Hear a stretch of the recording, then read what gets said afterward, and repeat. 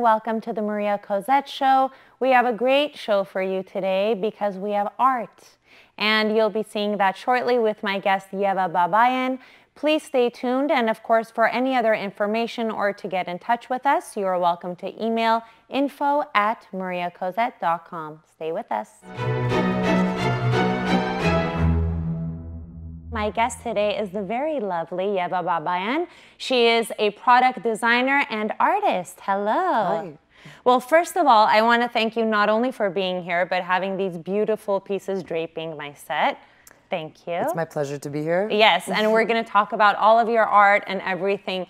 So, first and foremost, let's talk about your background, education, initial interest in painting, and all of that.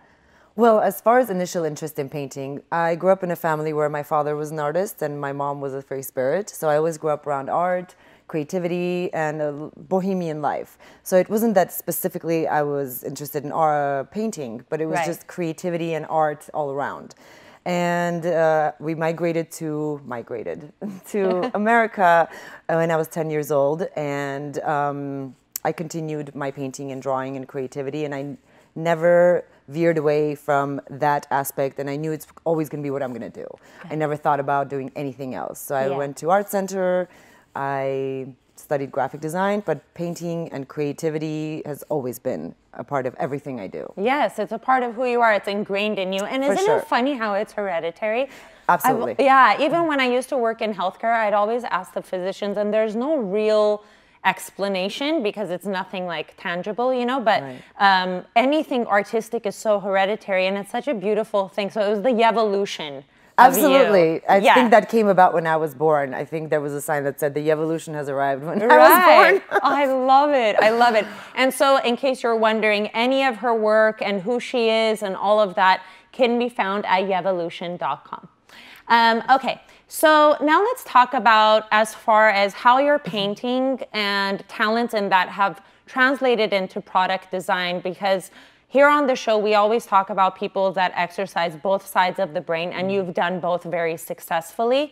And so, um, what have you found in the process of you know your talents in painting moving over to the business aspect as far as aesthetically pleasing art for display versus you know functional product development and design Well, essentially, I don't differentiate product design from painting. It all comes under the umbrella of creativity. Right. So, putting the creativity on a canvas as opposed to a product, as opposed to a packaging that's commercially sold as a commercial, um, you know, usable item, it all comes under the same umbrella for me. Right. So, th- on this canvas, I put it as, you know, um, imaginary desire that came out in this image. But when I design something that's commercially sold, it's the same source of creativity and the same ideology that goes into creating that. And the idea, the fundamental idea behind that is to appeal to people's emotions because people buy with emotions people process things with emotions so when i design something commercial it's the same idea which is how do i appeal to people emotionally if one, I want to give them something that makes them feel sexy, I want to make them feel fun, I want to make them whatever they want to feel, I can give it to them because I understand how to appeal to people's emotions. absolutely very well said because marketing the very uh, fundamentals of understanding how to market a product is all through emotion Absolutely. yes because people will buy the product if it touches them in a certain Absolutely. way you know But you can't deceive them. It has to No, be honest yes. because a lot of commercial products deceive people. Right. If you buy this, you'll be better. But what I want to tell them is you're already amazing, but you know, if you get this, it'll vibe with your already yeah, self. just accentuate it. Yes, Exactly. exactly. so, what is your creative process? And then also in that, when you talk about what you pull inspiration from, let's please talk about this amazing piece here. Um, it's beautiful. It goes perfect with my set. But other than that, it's just, I mean, it's stunning. And I'd like for you to talk about that. And then in general, where do you pull inspiration from? Your moments of, you know, being inspired and feeling compelled to just paint something.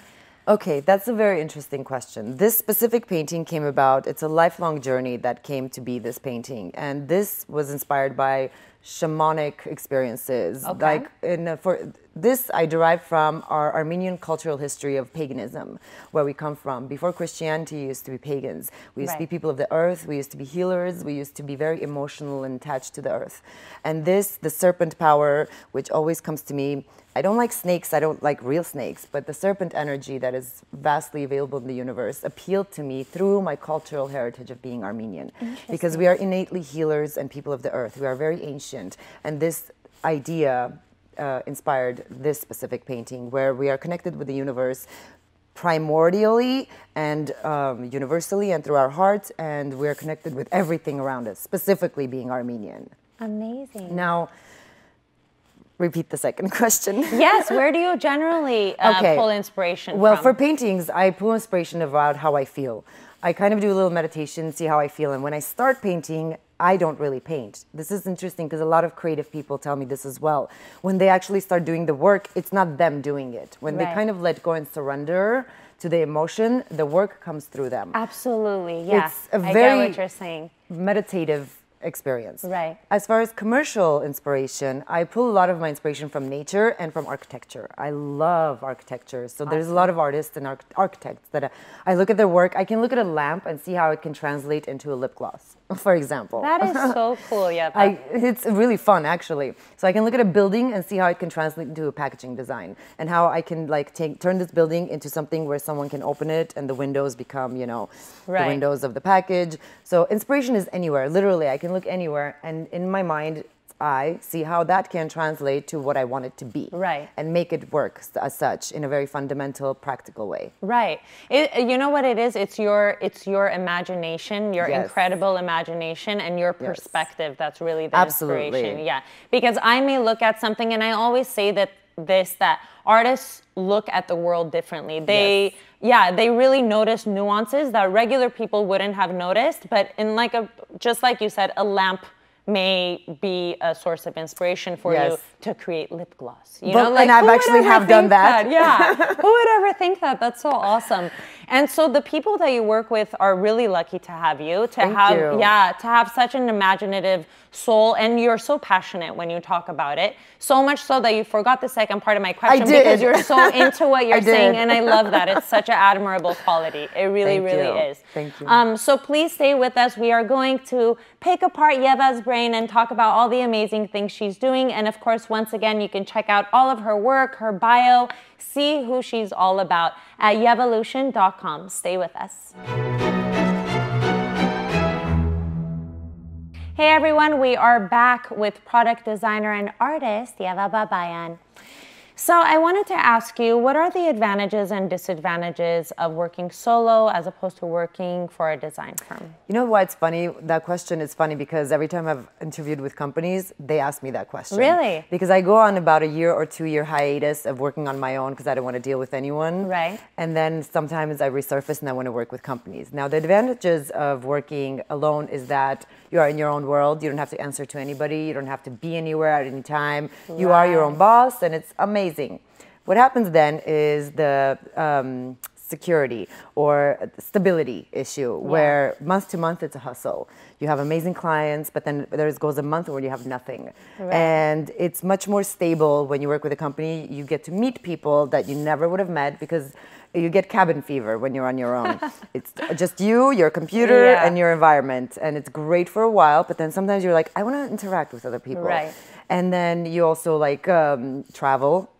You have health insurance, of course. That's awesome. Yes, benefits are always a good thing in so America. having stability and the continued income that is, you know, guaranteed there is Right. the amazing part of working for a company. But I like both. I'll work for a company for a year or two, and I'll get sick of it, and I'll go on a hiatus into cabin fever for about Right. a year or two. So it's good to have both. Never stick with one because you'll get sick of each one if you stick with it forever. So right now I'm nearing about my almost two year uh, like, time "It's limit time." where I might need to go hiatus into cabin fever again. But when that time comes, you know, it'll come on its Yeah. own. Well, it's good because you've excelled in both. So, you know. I like both, and Yeah. I like to work with people a lot too. So when I get sick of that, I'll go solo. right, right. Um, and so in that, you're a creative director uh, currently, and you have to, you know, work with a team as far as you know how how do you operate in an organizational setting um, as far as communicating with different organizational levels, people that aren't necessarily artistic, but you have to convey particular messages to them. So, how does that dynamic work uh, when it comes to Yeva Babayan with business acumen and in an organizational setting? Okay, so what I found to be true is that the ability to be an artist is a gift because I have access to people's emotions. Right. And whenever I meet people, even IT people that I have to deal with, even the most fundamentally dry square people that do very practical work, I know how to communicate with them. Right. I don't know how this ability comes, and I always refer back to being able to be artistic, is that no matter who I'm talking to, I can see who they are and how they need to be talked to so they can get the idea that I'm trying to communicate across very clearly and legitimately. Right, right. So if I have to tell them how to assemble this piece of box in the most practical manner, somehow I know how to do it. And I know how to speak to each individual in a way that they specifically get what I'm saying without any questions and the shortest way. Perfect. So whenever I talk to people, I always try to get to the bottom, fundamental, basic common denominator point without any, as they say, uh, beating around the bush. Right, right. which is a waste of time. So it's very easy for me to communicate with people. It's kind of a gift that I was given since I was young that I recently learned how to harness and use practically. Whoever I can talk to, I know how to exactly talk to them because I can somehow see who they are and how they need to be communicated with to get the idea across specifically. It's not something I can put in like psychological terms. It's not something I can describe in any you know mainstream way, but it's just an ability that I have and I can do it. And so far, it's been working out for me. Yeah, and you know what? That is a gift, and it's really the um, the essence of this show, and why why it's important to provide a platform for people like you who have that gift but are also artists. Because there are incredible artists that are introverts and they never want to be bothered. In fact some of them don't have any social skills at all but you've managed to you know excel in the business world as a creative director and then you're also able to unplug and be an artist and create so Definitely. yeah that's cool i It's love fun. it It's fun yeah fun to do both. Absolutely. Um, and so, what uh, advice would you give aspiring artists who want to, you know, fully commit to art, but unfortunately, and I could say that myself as well, being a musician, it's not always the most profitable thing. Um, and you have to have a little bit of business know how. Um, in order to be able to make some profit or have you know a flow of income uh, so, what advice would you give aspiring artists that want to pursue art as their main line of career, or maybe even end up, you know, like you? Like, how did you get to where you are? That's easy. You can't make profit as your goal. Right. You have to do the thing for the sake of doing it. Yes, And when you do that fully and completely, the money comes. Right. It's not because of the money that you're doing this, because when you do that, you fail. Yeah. If I had money in mind when I did this or any other creative adventure, it never would have happened because people always want something different. Everyone out there has seen everything that there is to see. Social media has made everything, exploited it at all. Right. So when you're doing something from your heart and your soul, it's very original. And what do people want? Something different, something original. And people might say everything under the sun has been done, but it hasn't because your soul is constantly in existence of the new. So if you want to do that, if you want to succeed, don't do it for the money.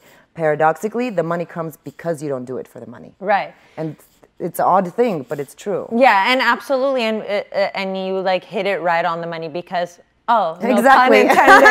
yeah, no pun intended. But they do. Yeah. People people see authenticity in your work, and they see that you're passionate about it, and that's why it stands out. Um, and the same with music. When there are artists that are like, oh, I want to be famous, it's like it's a very long road to get to be famous. Yeah. Um, and if you're doing that, you would have quit like 30 times already because Yeah. it's just failure after failure after failure. And what drives you is the passion. Absolutely. Yeah. That's the only thing you should follow. Yes. The money comes after. Yeah, exactly. It's inevitable. Right. But don't do it for the money. So it's like a double fold, double, what do they call it? Double entendre? Double entendre? Yes. Yeah, yeah, yeah, yeah. I love it. Um, okay, so speaking of passion, now let's talk about these two other amazing pieces Sure. that you have here. Um, let's talk about this one. It's super cool. What is happening here? So it is a male. Yes, it is a male. So this one specifically, like all of them are in that tune, but this is basically I want to show the emotions of a human as uh, if you were to go beyond the physical level of when you see a person. You see their emotions as they run through them. So i wanted to oh, present love how people are composed emotionally. You know like the blues are a certain aspect the golds are a certain aspect. So, So it's a person made of emotions Right. composed of emotions. It's I the basic love idea. This one. I mm-hmm. mean, I love all of them, but mm-hmm. this Thank one, you. there's something about it. It's very, I don't know. It's just something about it. I guess uh, art speaks to people differently. So Well, that's the thing about art that I love is you don't have to have education or you don't have to be intellectual. It's if it if the art is done properly, anyone can. Right. You have to touch anyone exactly. without past social class, past education, past everything. yeah, there's always an appreciative eye. For Um, sure. What about that one? That one is completely raw emotion. Like this one is more composed and this one is completely raw. Where I feel like women are more raw and men are a little more structured and composed. It's okay. You could say it here. We're better. I mean, it's, not that I don't want to make absolutes, but in general, in my observation, like I see the woman as more like No, I get what you're bleeding with reality. Right. So she is like that same idea, but more raw and and unrefined and just Super cool. uh, abstract in a sense, but Right. still very composed. very, very cool. And what if people want to purchase your art? well, they can contact me privately uh, because I, I haven't done any shows in a while, but I'm working on that. Okay. But all the pieces I have in my studio are for sale. You can contact me and come to my private studio and buy them. Awesome. And again, go to yevolution.com.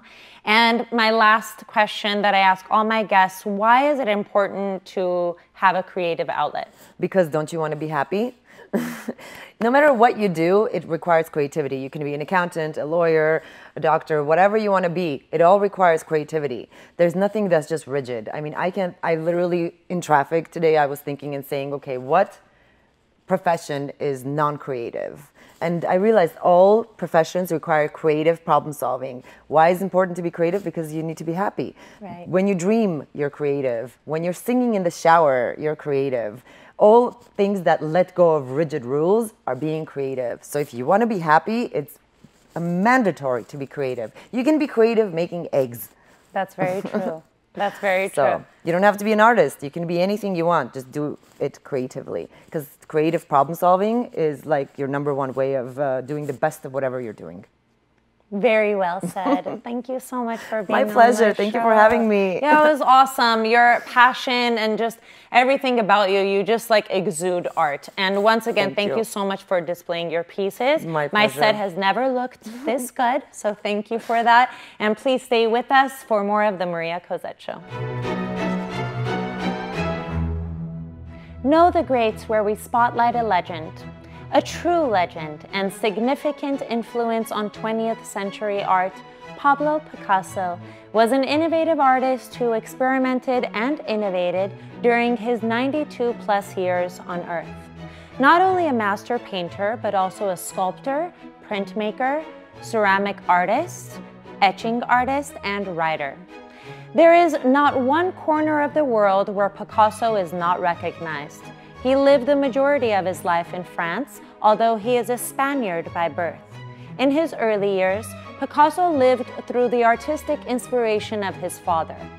Picasso attended the School of Fine Arts in Barcelona at the age of 13. In the 1900s, he moved to Paris where he lived in poverty.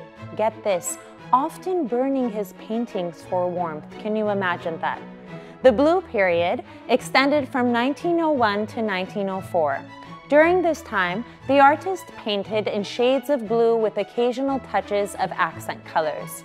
The Rose Period and African influence were respectfully prominent, but it wasn't until Cubism in 1907 where Picasso took flight and created some of his most famous pieces, defining his innovative style.